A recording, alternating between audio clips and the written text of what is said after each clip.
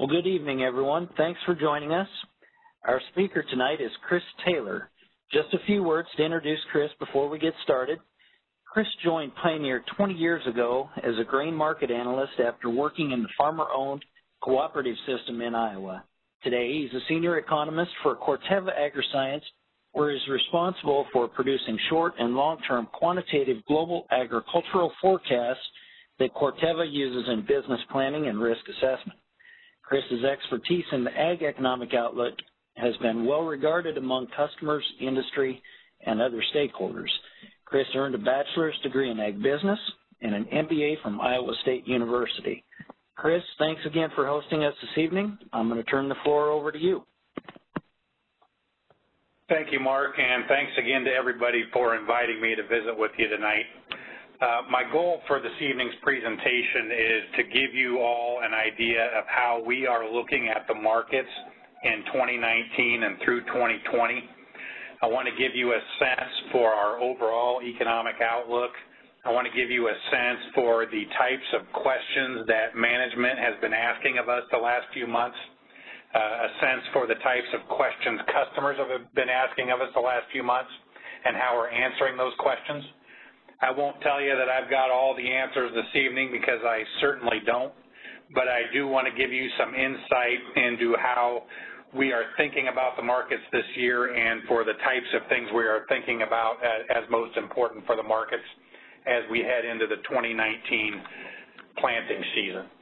And I'm going to do that starting out with three or four slides on the, the overall global crop outlook, the overall global situation and how it's impacting us here in the U.S. We're going to take a look at some of the USDA numbers that they released at the Outlook Forum a couple years ago I'm going to give you some of my ideas on those numbers and some of our ideas on what that means for the upcoming U.S. crop season. And at the end, I've got a few slides on the Farm Bill and some longer-term final thoughts that I think would be important for everybody to keep in as we move through 2019 here.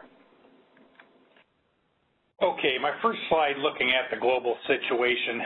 On the left side, we've got ending stocks of global corn, wheat, and soybeans, and on the right side, ending stocks to use. A couple messages I want you to take from this slide. Uh, the first is that we are at or near all-time highs for ending stocks for, for corn, wheat, and soybeans. Uh, soybeans setting expected to set a new record high for global stocks this year and I would say it's the, it's the soybean supply that the market perceives as particularly burdened. But we have seen global corn stocks and wheat stocks tighten here recently.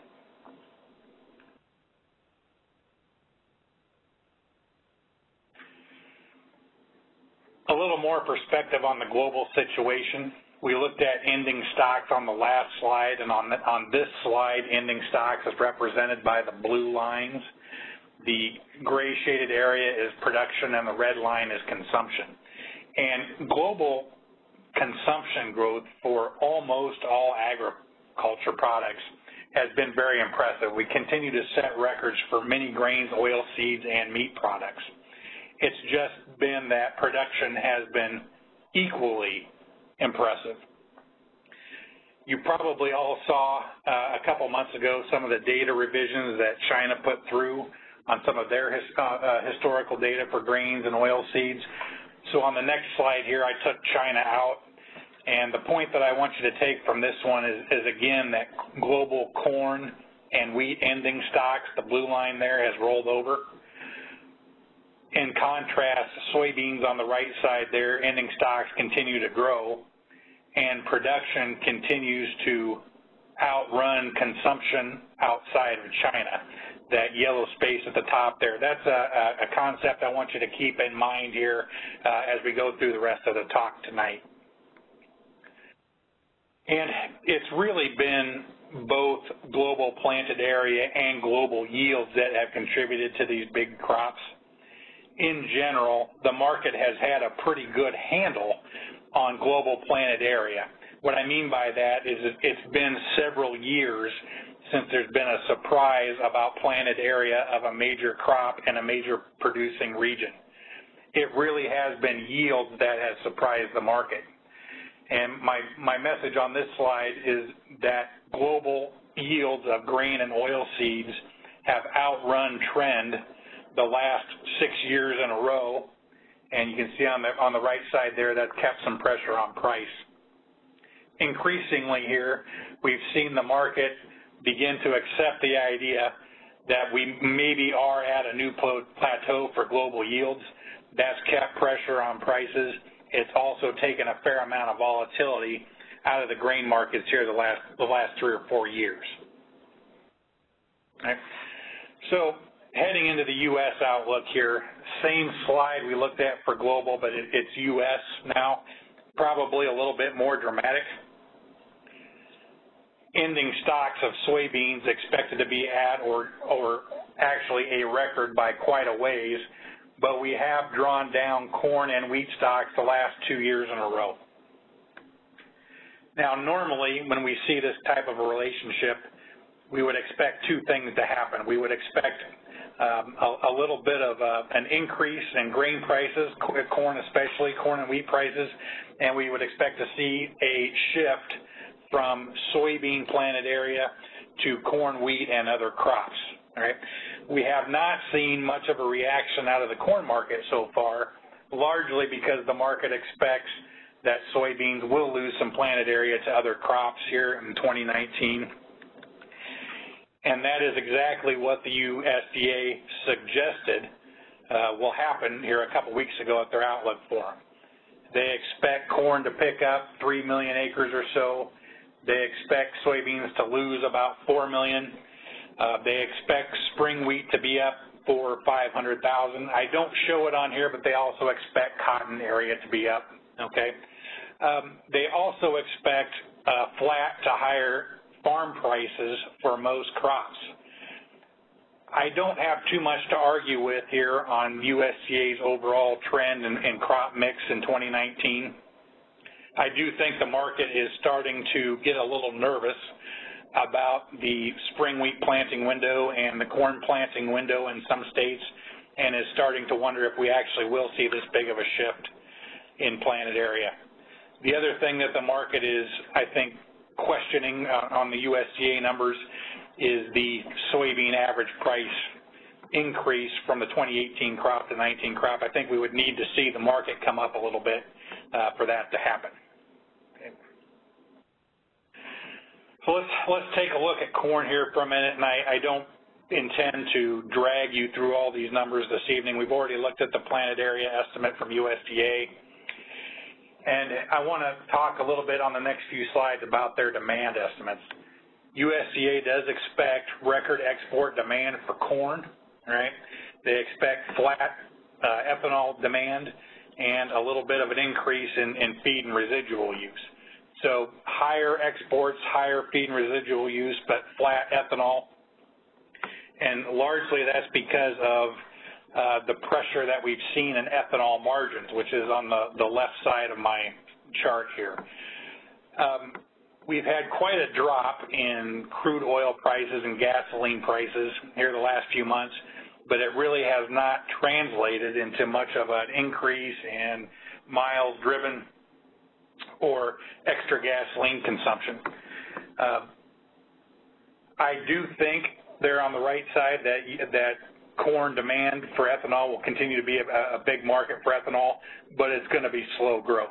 Okay, there are a couple things on the horizon here to think about for ethanol going forward. The E15 regulation waivers due out this summer, uh, I do think will help ethanol demand a little on the margins, but again, I think it's going to be it's going to be slow growth as retailers decide to add pumps and, and sell E15, okay? Um, there's been some stories out about China likely including distillers grains and or corn and or ethanol in some of their promised purchases from the trade perspective. Um, that would certainly help, uh, especially if the volumes are big enough to, to impact global ethanol economics. So my outlook here for margins to get a little better here in the 2018 crop, and I, don't show it here, but again, a, a little better in the 2019 crop as well for ethanol. On the livestock side, uh, we, looked at USDA's estimate for an increase in feed use there. Um, we're expecting another year here in 2019 of record pork, beef, and poultry production here in the United States. And the pork, beef, and poultry herds all expected to be record large here in, in 2019. Uh, record herd sizes, good for feed demand, okay, not so good for livestock margins, of course. Um, we're seeing a little bit of pressure on hogs, and again, with some, some trade, you know, some hopeful trade news coming through that, that could help prices there. The cow-calf side looks to be under particular pressure uh, on the beef side. I'm showing dairy on the right side of this chart. Dairy has been pretty tight, and we expect dairy to be pretty tight through most of 2019, though I do see uh, a little bit of improvement in milk prices here at the middle and the end of the year because of, global prices. Uh, so I um, see a tight year for livestock margins, but uh, pretty solid feed demand there. I want to spend a couple minutes on this slide because it um, addresses, uh, I, think it does a pretty good job of addressing our outlook for corn uh, and probably a little bit corn price here the next 18 months or so. The left side of the chart is corn ending stocks in the bars there, and the price is the black and yellow line. And note that that chart is not sorted by year, it's sorted by ending stocks, right? Okay, so the higher the ending stocks, the lower the price and vice versa. That's a pretty uh, easy concept that, that, that everybody's comfortable with. On the right side of this chart, I've got some different area forecasts, um, USDA in the middle there at 92 and some other ideas to think about. And the, the point I want you to take home from this chart is that even with an increase in corn area to 92 million acres here in 2019, we're not likely to build ending stocks here of corn in the U.S. very much, assuming some of our current demand estimates hold, okay? And we think that that keeps some support under corn price into 2020. And I've got corn futures, the December contract on this chart. The black line is 2019 and the other lines are the last three years. Through most of 2019 here, December corn futures have been above the level we were the last three or four years. So I, I think to some extent the market is recognizing that the corn situation is tighter. We've sold off here a little bit the last couple weeks, kind of into the middle of that range. Not too unusual, all right. For there, there is a, a pretty strong seasonal that can that can catch you in February to put pressure on corn price. It looks to, to us like corn futures are poised to kind of trade the seasonal here into planting, especially if we get some help from, from um, market concerns about weather. Uh, the other piece would be if there is a breakthrough on the China trade situation, I think that would help us get a, little bit of uh, our, normal expected spring rally on, corn as well. Uh, I will say, given that the supply overhang globally we looked at a few slides ago, I do think when these opportunities present themselves, uh, we all need to be to be looking at, at, at taking them. Okay.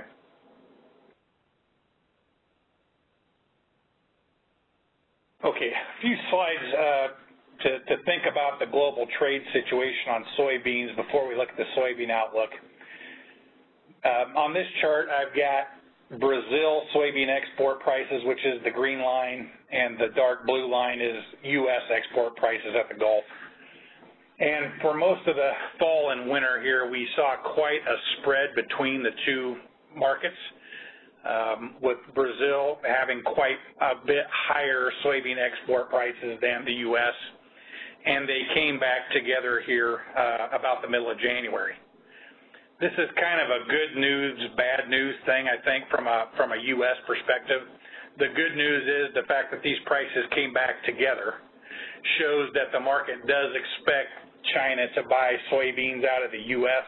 when it needs to do so. Okay, that may, may go into the state reserves, which are not subject to the to the tariff, but um, the market doesn't believe we're going to see too many problems uh, with trade going forward. The bad news, I think, is that the Brazil price came down to the U.S. price, all right, which in, in our mind suggests that the U.S. soybean price probably was the accurate reflection of global soybean prices all along, all right.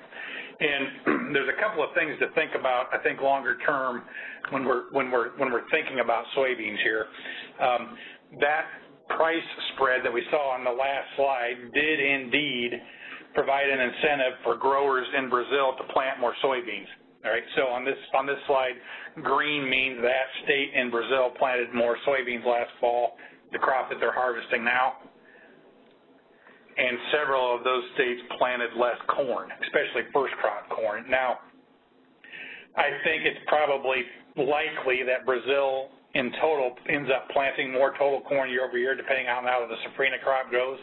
Um, but definitely, Brazil producer was reacting to that soybean price spread uh, that was in, in effect for most most of the last several months.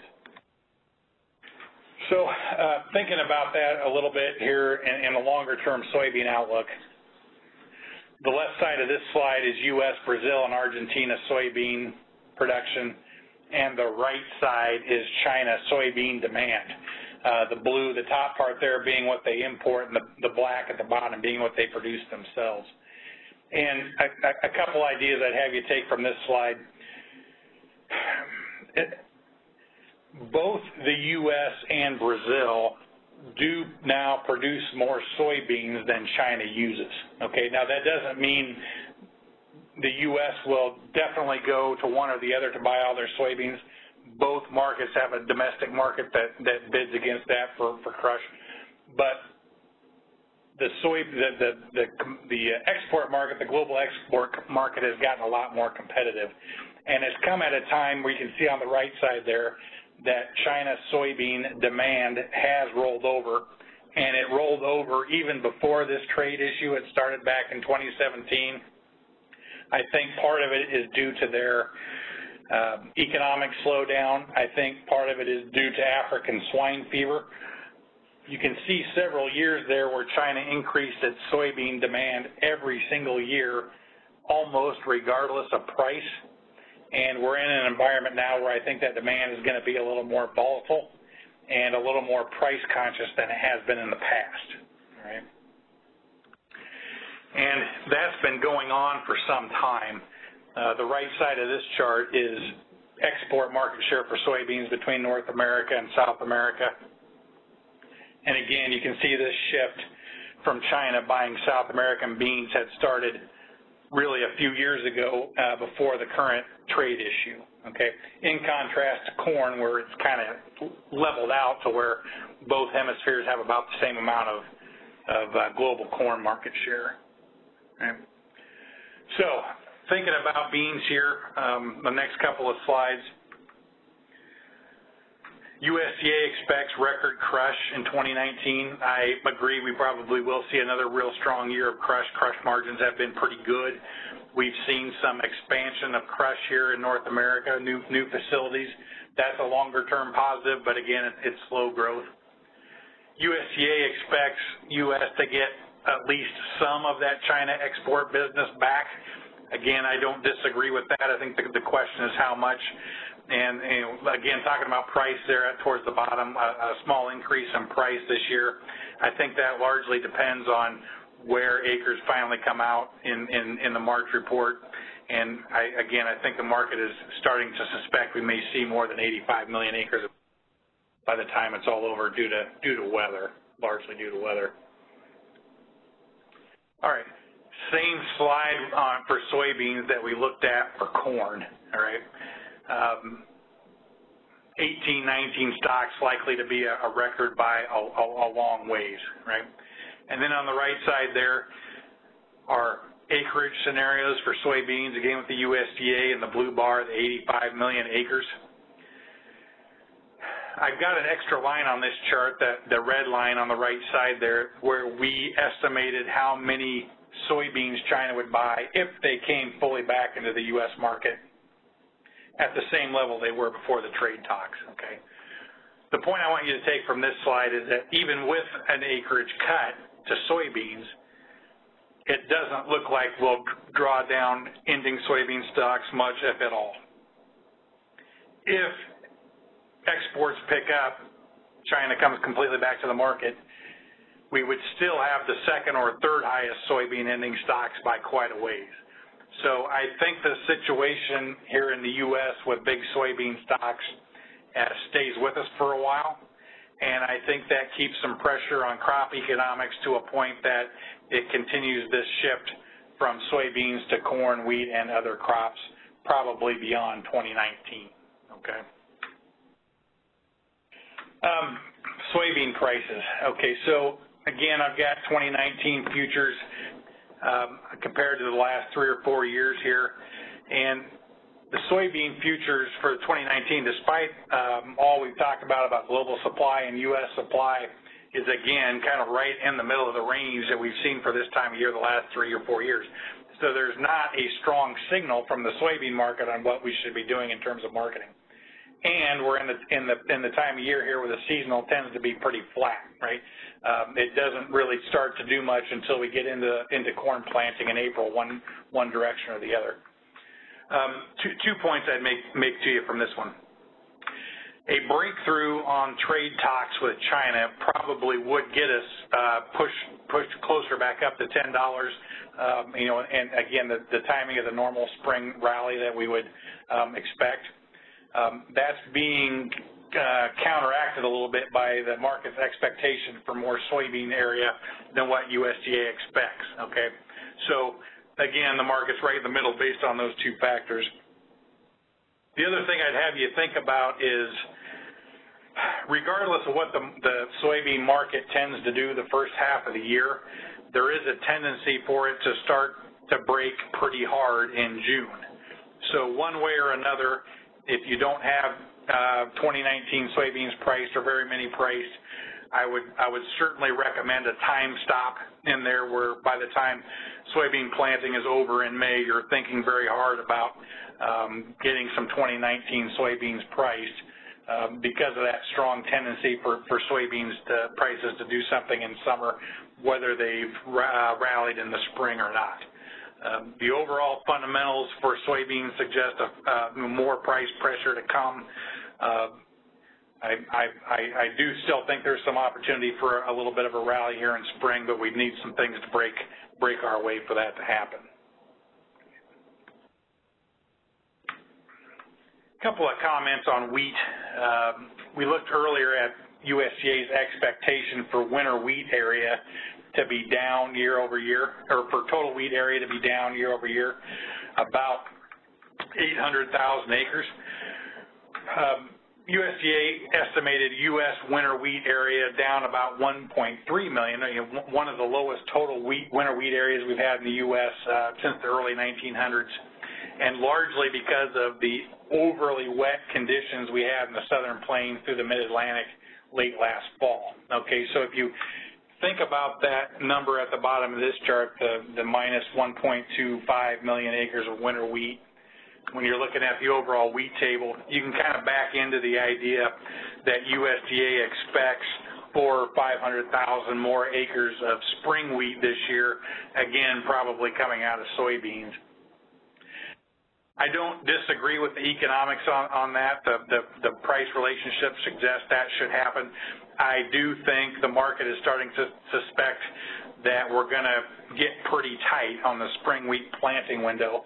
That has helped spring wheat prices keep some premium to winter wheat prices, though the whole wheat complex has been pretty weak here the last uh, month or so. Like corn and soybeans, I think it's too early to write off the idea of a spring wheat rally, especially as the market gets a little more nervous about acres. But this is another market where we're all going to have to be ready to take advantage of the opportunity when it when it comes. Okay. A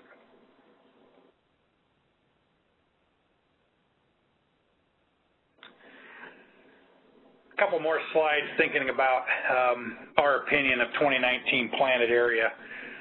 one of the one of the factors, one of the metrics we look at is corn to soybean new crop futures prices to give us an idea of what the market is trying to do and what the market thinks is going to happen when the crop gets planted.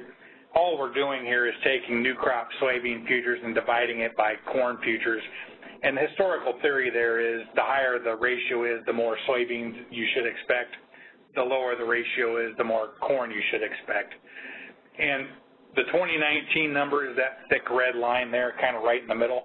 Again, it's kind of in a neutral position, right? Not a strong uh, signal from the market in terms of market shift, but you can see that it is quite a bit below the 2017 and 2018 ratios that drove almost 90 million acres of soybeans here in the U.S. So from a futures perspective, uh, the market's not signaling a big shift, but it's the cash market doing the work through basis that is trying to trying to make that shift happen. And um, again, I, I, don't disagree too much with the with the USDA numbers or the uh, overall market perception of, of, not trying to shift a lot of acres.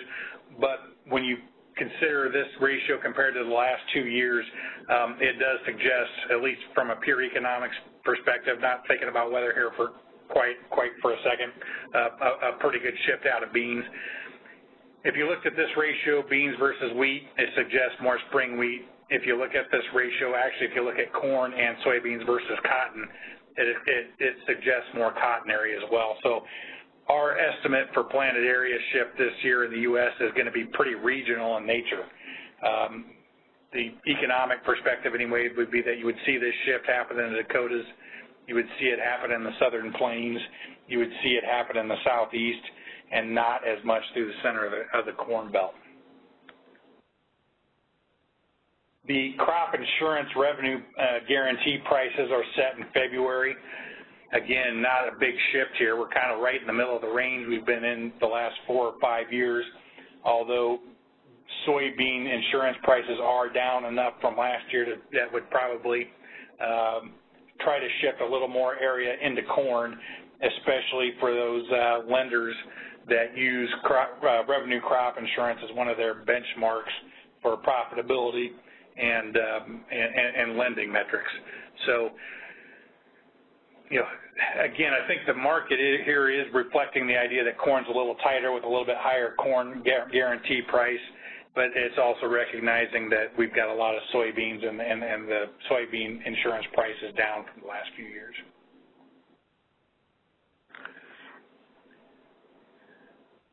These charts are all of the private analysts, the brokers, and trading house planted area estimates that we follow, and we put the USDA number in there just kind of for reference. The trend on these is pretty clear. Basically, everybody is expecting more corn area this year, and everybody is expecting less bean area this year. What is different about this year is how narrow the high to low ranges are on both crops for March especially for soybeans. This is one of the narrowest ones that, that we had in our archive going back uh, 10 or 15 years. So it does feel to me like the, the market is probably setting up for a little bit of a surprise on, on soybean area and, and, and USDA's March report one direction or the other. Um, you know, and again, I think weather would suggest it could be a little higher. Economics su su su suggest it should be a little lower. But uh, this type of narrow range is typically what sets you up for some type of, of pretty volatile market move uh, the first part of April. And we, we've talked quite a bit about weather and uh, temperatures this year, this winter. Uh, one of the top five coldest February and March periods for the uh, upper Midwest and Corn Belt on record. We've also got well, I think the market's perception is that topsoil and subsoil moisture is at capacity for pretty much the entire uh, agricultural region east of the Rocky Mountains. Two, two, ideas here, okay? Again, this is part of what's keeping the market nervous about a uh, uh, the spring thaw and flooding issues and having trouble getting the crop planted. Once the crop is planted, a full soil moisture profile like this will lead the market to think we've probably got a chance at some pretty good yields here again in, in 2019. Okay, so um, again, if anything, it supports a little bit of a, a market rally here early in the season, and then once the market is comfortable that the crop is planted, um, we'll get comfortable with yields pretty quick if there's if there's any precip in the in the in the forecast at all again, argues for taking advantage of some marketing opportunities when they present themselves. Um, I've got three or four slides here on the Farm Bill that was passed uh, late last year, and um, there are three or four key things here that I think it would pay for any producer to keep in mind here this summer uh, heading into the sign-up period late in 2019. Um, the first was that there was not much of a change in crop insurance, which I'm looking at as good news, okay? They did make some modifications to the ARC and PLC program. Um, one, that you'll be able to choose which program you want uh, year to year. And the last one is they, they or the, not the last one, but another key one that I think is that they raised the loan rates for most crops if you're taking advantage of that program. I've got the loan rates in the in the table at the bottom right hand of this of this chart. Um, so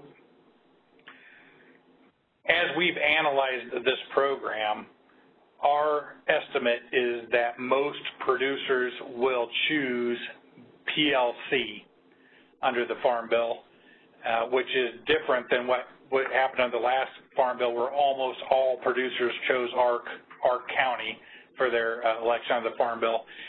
We think it's going to flip-flop and almost all producers will choose PLC. In addition, if you choose PLC, you can update your yields for PLC, and our work suggests that almost all producers will want to take a hard look at that as well. I borrowed these two maps from FAPRI at the University of Missouri but our work aligns aligns very close to the work they did down there. What these maps are telling you is if you operate in a county that's colored dark blue on these charts, you will want to take a very hard look at updating your PLC yields under the new Farm Bill, right? If you're operating in one of the whiter, white shaded counties, that doesn't mean you won't benefit. It just doesn't. It just means it it's likely that most producers won't or most producers updated under the previous Farm Bill. Either way, I would suggest you all take a very uh, uh, hard look at updating your yields under the new Farm Bill because I do think there's some value in it for corn and soybean producers both.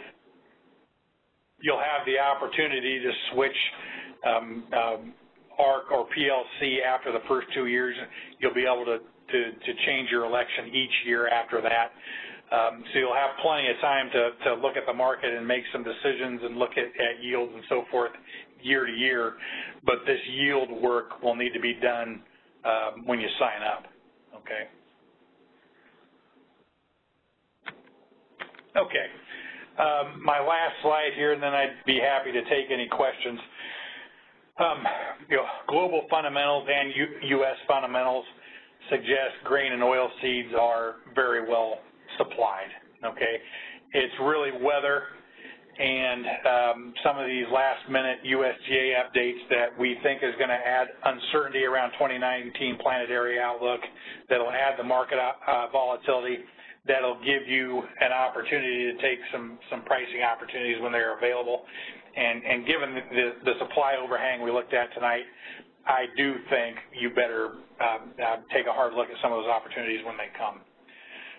Thinking about trade here, um, trade has been in the news quite a bit the last few weeks because it um, the, the, implication being that the U.S. and China may sign a trade agreement uh, you know, sometime here in the month of March. There's been news of promised purchases. Uh, U.S announced a couple of days ago that they would suspend indefinitely the idea that they would put any more tariffs on China. They haven't removed any, but they haven't put any new ones on. All of this suggests to us the talks are progressing and there may be a deal at some point. We just don't know the timing. Okay. When it, if an agreement is reached and agreements are signed, it likely will have a positive impact on the market in the short term, meaning I, I do think we'd see a market, a, a market, market reaction higher in the short term, but the, the impact of the trade issue is probably long term before we see any real um, price change here in the U.S., largely because of the time of year we're entering here. This is the time of year that China would switch to buying beans and other crops from South America anyway, so it could be harvest time or, or, or more likely early 2020 before um, China purchases move the market enough for, for the U.S. producer to, to benefit. And then my last point there, um, the Farm Bill adjustments and specifically the the adjustment that uh, lets people in, uh, update their PLC yields does show the value of maintaining yield potential. Um, the crop insurance program uh, rewards higher yields over time, and of course, with, with prices like this, the, the, market's actually rewarding yield, right? Not not re rewarding the producer through yield, not through through price. you know, I, I know um, there are some lenders out there pushing the idea, and and and others of of, of, of um, you know, being very cost conscious on inputs this year, and the economics um, you know help that argument a little bit. But it is riskier long term to if we're if we're taking chances on our fertility or our genetics programs. Um, there is value that gets capitalized back into the land and back into the operation through the farm bill and through crop insurance uh, if you're if you're maintaining increasing yield potential over time. All right. Well, that's my last prepared comment. Um, I guess I'd be happy, Mark or Christian, to take any questions that come uh, from the group. Sure. Ladies and gentlemen, as we move to the question and answer portion of the call, please feel free to place yourself into the question queue by pressing pound 2 or hash 2 on your telephone keypad. You'll hear a notification when your line is unmuted. At that time, you can state your question. To submit a written question, you can use the chat panel on the right-hand side of your screen and choose all panelists from the Send To drop-down menu. And just so everybody knows, the, your question will be addressed anonymously.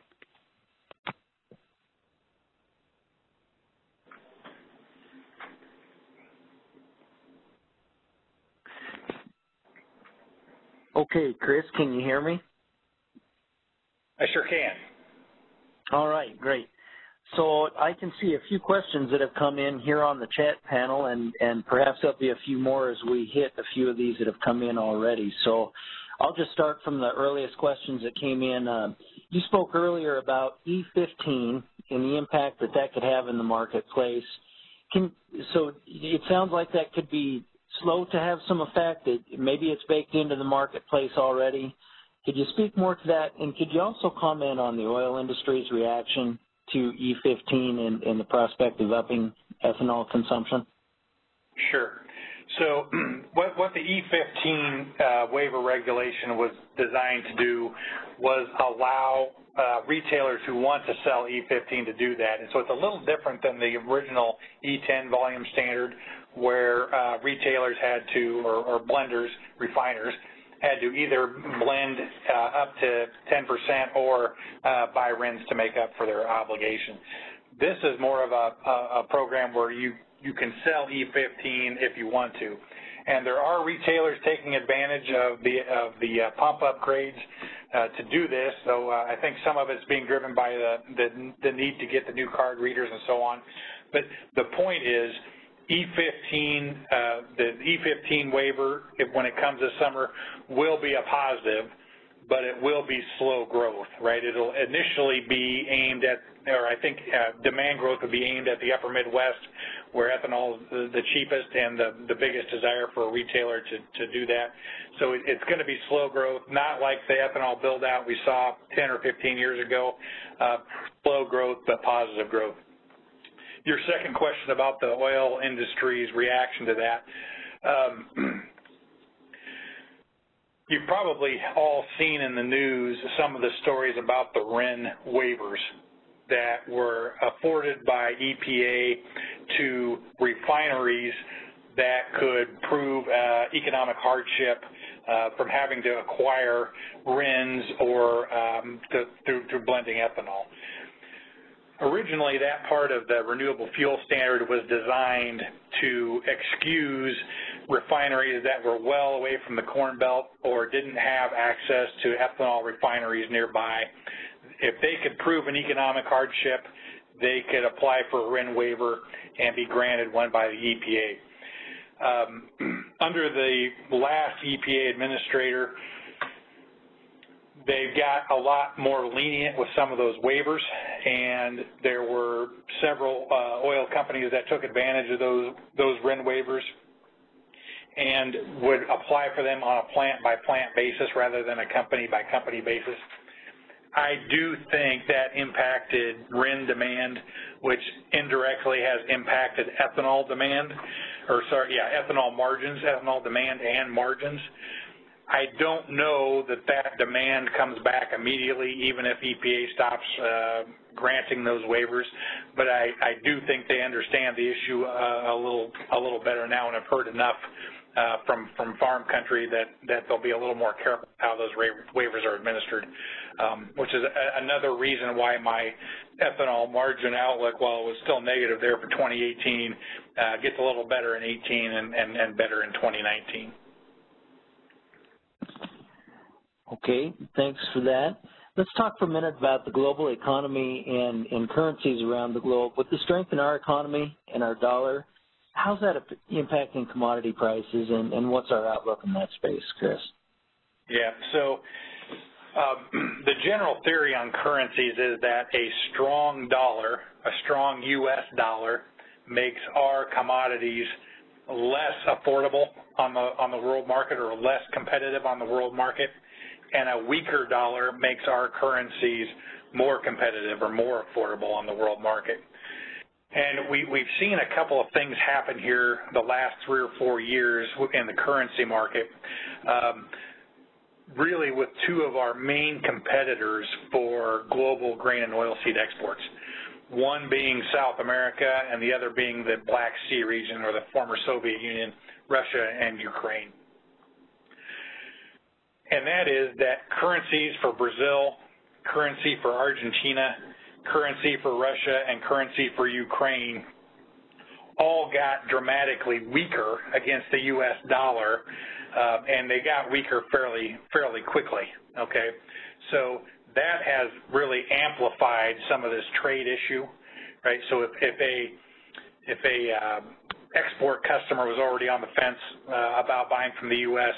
Uh, for whatever reason, politics or whatever reason, um, price uh, moved away from us fast enough that it kind of made the decision for them. Okay.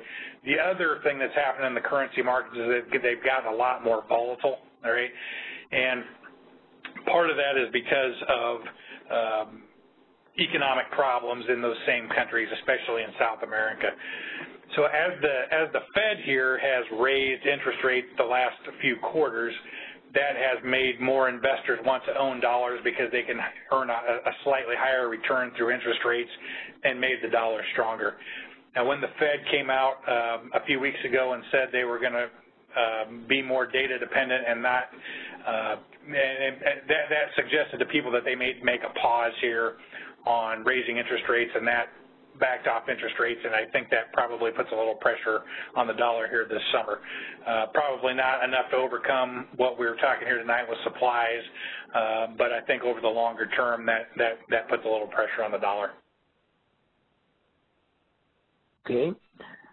So you mentioned wheat earlier, and also the fact that it's been one of the harder winters that we can recall. We're cold up here, Chris. Can you comment on the USDA's assessment of the winter wheat crop at this point? Sure. Uh, overall, the winter wheat crop is perceived as in uh, relatively decent shape. Um, winter kill isn't perceived as a big problem at this time, though uh, remember uh, the map we looked at earlier that showed planted area was down quite a bit. especially in some in some of the bigger winter wheat states. So it, I, I don't think there's much of a chance it breaks dormancy early, um, but I, I, I, don't think the market is too concerned right now about uh, winter wheat yields coming out of uh, or, or coming into the into the 2019 harvest. Fair enough. As it relates to um, the 2019 commodity forecast and beef and pork in particular, prices, uh, can we speak to those, Chris, and, and what factors in the marketplace are, are forcing substitution and um, are competitive effects in those markets? You mentioned swine fever earlier as one. Yeah. Okay. So I'll start with pork there. Um, you know, I, I think initially the swine fever issue drove the market to believe there was an opportunity to export more pork to China, and that may happen. I think it reacted a little bit uh, to, too much to the downside here, um, and, and, and, and what caused pork prices to sell off or hog prices to sell off was as China has tried to deal with this swine flu issue, they've liquidated a lot of herd, and that's softened a lot of global demand. My concern here for U.S. prices is just the, the sheer number of hogs and the sheer amount of pork that it appears will be coming at us here in 2019 and into 2020. Domestic meat demand has really held up pretty good. Um, here, here in the U.S. and, and, and in a lot of developed countries pork is probably the one place where I think the trade agreement would help the most. But again, you know, it might be a little bit of a, a longer term uh, price impact there. Now on the beef side, there's a couple different things going on there. Uh, the last cattle report here from, from last week did show that we're finally starting to see the uh, the uh, the beef cow herd uh, slow growth a little bit. We'd had several years of really good economics We'd had several years of really good weather, and both th those things combined have, have generated quite a large um, increase in the cow-calf herd, and we're starting to see that slow finally. Now, thinking about 2019 and 2020 economics, um, be, be, because of that, I think feeder prices are going to come under some pressure here in 19 and 20 and, and put some pressure on cow-calf margins as we, as we saw on the chart there. Beef uh, feedlot margins may, may actually end up being okay. Again, beef demand, especially for higher value cuts, has been really strong, and beef exports have held up really well. So, so the feedlot side may may do okay here for a little bit, being in a little bit better position to to uh, negotiate for feeders and and and, and corn prices uh, working for them as well. Steve, uh, live cattle futures, yeah, sorry, live cattle futures have, have actually outrun my forecast a little bit here. They've been stronger than I than I kind of expected because of the demand side. Um, the pork side, the the uh, hog futures have been a little weaker, but I, I think we're starting to see some signs of those uh, stabilizing here. Chris, I was just going to add another question uh, around margins. It, it seems beef products in our retail marketplace are, are pretty stable and, as you said, pretty strong too. And yet those margins at the producer, maybe the cow-calf or the feeder level, seem to be pretty volatile. Have, have we seen in recent in recent times, the last couple of years, some fundamental shift in the packer's ability to maintain margins through captive supply? Well, certainly, I think you've seen that on the on the poultry side and and to some extent on the pork side. Um, you know, I, I think on the on the beef side, they they've tried to do it more so through uh, retail pricing, right, rather than the, the, than the on, on, the product side. Um, you know, the argument being, um, even with bigger beef supplies, they really haven't seen supermarket prices back up, back off much on on beef, like you have um, uh, pork and poultry.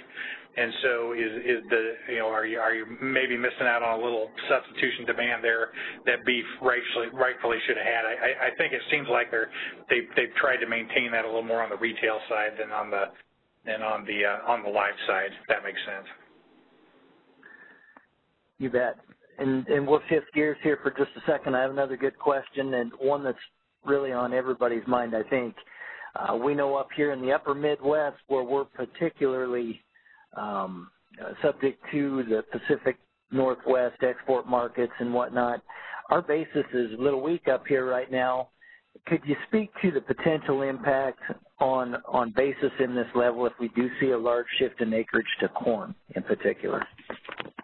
Yeah, so I certainly if there was a, a substantial shift in acres to corn, it would put a it would put a little pressure on on corn basis.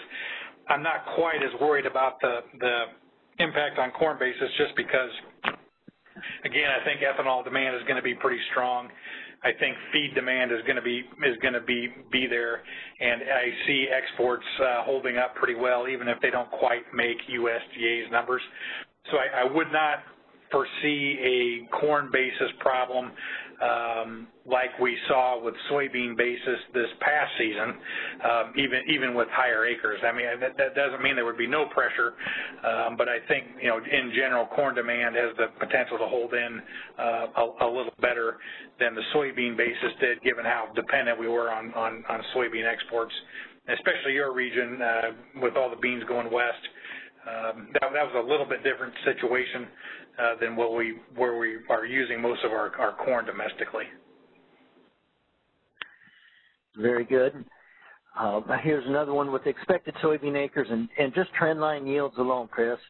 How long in years do you think it, it could take to uh, work down some of this oversupply situation, particularly in soybean? Wow. Okay. Um, well, you know, the, the chart we looked at tonight would suggest that it, it sticks with us at least into the 2020 growing season. And I think from then, from from that point on, it depends how many more acres we we would shift next year. And um, you know, I, I think you know you're probably just just based on the numbers we looked at tonight, you would be looking at two years to get it back below that three to 400 or back to the three or 400 million that we were kind of looking at as normal a couple years ago. Uh, I don't know that we'll see the, the shift to happen that fast, but um, you know, for, for sure we're looking at pretty big stocks of soybeans here in the U.S. in uh, this year and next. Okay. Um, maybe as alternative crops go, and and just you know, given some of the price forecasts, the, the weather situation, which is always unpredictable, uh, well, if you had to call a shot, Chris, is it a good year to roll the dice on planting a little more spring wheat? Well, certainly the economics are telling you to plant some more spring wheat, um, and it wouldn't, um, you know, I wouldn't question that decision. I think it probably comes more down to uh, you know, the, the weather and uh, how, how we do on the planting window. Um, I for sure would be keeping a, a close eye on that market, especially if we get a, a little bit of a rally here in the spring. Uh, but I, I guess I can't argue with that decision um, if it if it if it pencils out, especially with the your uh, new crop soybean basis. Shifting back to trade, I have another question here, Chris, and, and this one's about China as well. We know their economy has slowed down, and I'd have to think some of that is attributed to our current trade situation between our two economies. If we straighten that back out, do we expect China's economy to rebound, and, and will that help boost the global economy and bring us back to full steam at quicker pace? Yeah, so I, I think a couple of things working on China's economy right now. Um, they had uh, acquired a, a, a, tremendous amount of debt, now most of it internally, as um, you know, they really have struggled to increase their domestic consumption and be less reliable on exports, which to your point there is why this trade issue has probably slowed their growth some. Now, thinking longer term, certainly if the trade issue gets straightened out and their economy begins to grow again, I do think they would come back into the market for uh, multiple agriculture products. Whether it's as fast as it was before, I'm not sure. Um, I, you know, I, I, I think it could be the issue, of course, being here in the short term and the medium term, the swine fever issue. I don't think the market has a very good perception of how bad it is there. I don't think China has a very good perception of how it is, how bad it is there.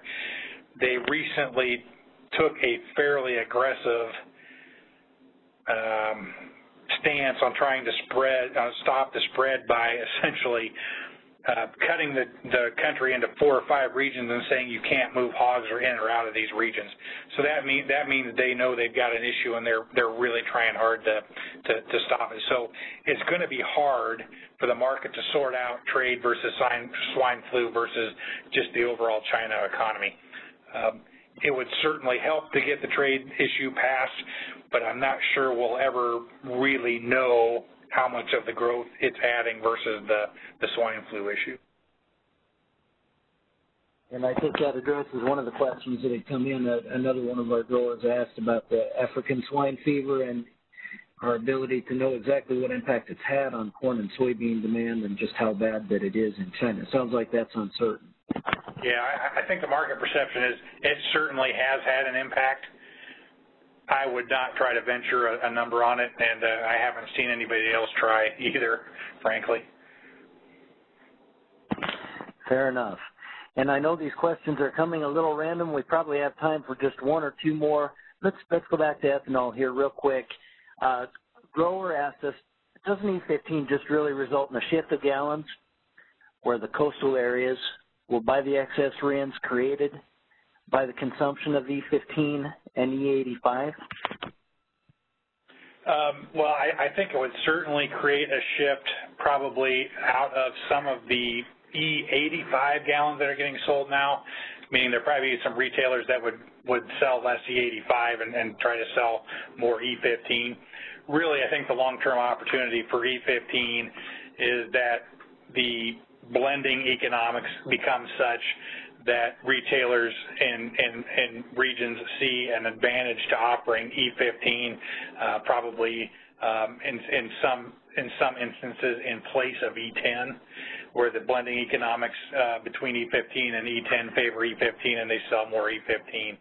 I can't argue too much with the idea that you won't get much E15 penetration on the on the coast, well outside of the of the corn belt. But um, if they do adjust the process for these RIN waivers a little bit and tighten that down a little bit, I think those coastal refineries or coastal blenders will have to have to do one or the other, uh, blend up a little or, or buy the RINs. Fair enough. And, and thanks for fielding all those questions. Uh, Chris, I see we're almost to our time limit here right now and glancing at the last question or two in the queue, I think you answered those invariably uh, in catching a few of the questions before. So uh, before I give the floor back to you, Chris, for any final comments you have, just uh, on behalf of your local uh, sales team here in the Dakotas and Minnesota, hey, thanks so much, you guys, for all your business. I hope we say that often enough. We greatly appreciate it. Hope everybody has a good, safe growing season in the in the year ahead, and we're just happy to be doing business with you. So, Chris, the floor back to you, and, and thanks so much for hosting again tonight. Thanks, Mark. And if uh, I, would offer to you that if uh, anybody on the team or any of your uh, customers have more questions, if you they want to uh, pass them along to you and you pass them along to me, I'd be happy to answer them.